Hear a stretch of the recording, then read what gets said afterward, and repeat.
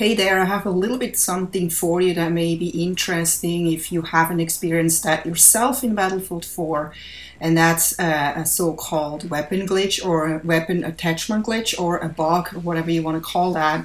It's basically that I was about to try out the ACE 52 CQB as you can see here and I have no attachments, I just have the iron sights on it, there's zero attachments on it.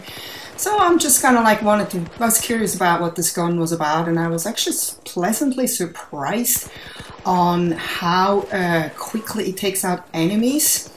But I learned fast that it's better to use it in close, really, really close quarters because it's not very powerful out of distance. But you know, you can see as soon as the enemy is farther away, it takes way more bullets to take them out. But in general, accuracy is medium.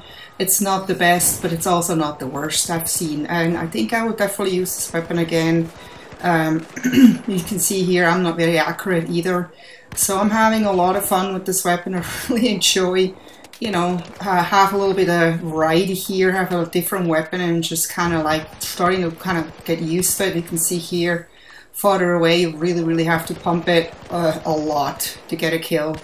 But uh, when, and then you can see here, I'm like unlocking this uh, red dot sight and I'm like, wow, awesome, finally, because I wanted that so I can take out people better from a distance because the iron sight wasn't good enough. So you can see I'm attaching it now, it's attached and I'm trying to play with this uh, with this um, red dot sight and uh, I don't find it not as good. I think I feel like I didn't really make an improvement. I almost did better with the iron sights than the red dot sight and you can see but it still takes like a ton of bullets to take them out and it's not really that much more accurate.